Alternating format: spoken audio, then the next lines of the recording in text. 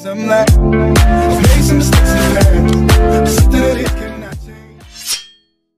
les amis, c'est Yanis Cooking, j'espère que vous allez bien, moi ça va nickel, comme d'habitude. Donc aujourd'hui on va réaliser l'omelette, c'est quelque chose de très simple, garni au gruyère, donc vous aurez besoin de deux œufs, du sel, de poivre, de gruyère et d'un peu de matière grasse.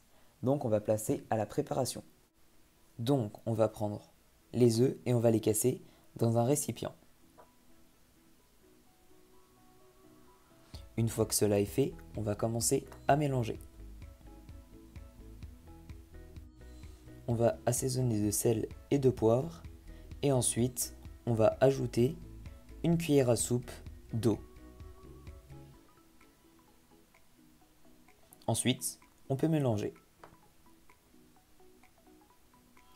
Voilà, votre préparation est faite. Dans une poêle, on va ajouter l'huile d'olive ou n'importe quelle matière grasse et ensuite on va laisser la poêle chauffer. Une fois chaude, on va pouvoir ajouter notre préparation. À mi-cuisson, on va pouvoir ajouter le gruyère. On va le répartir sur la partie droite ou gauche de l'omelette.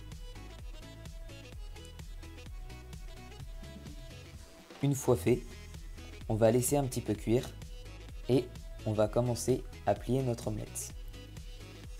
Donc on va la retourner pour terminer la cuisson. Et voilà, c'est fini, plus qu'à mettre dans une assiette. Donc j'espère que cette recette t'aura plu. Like, partage et abonne-toi. Salut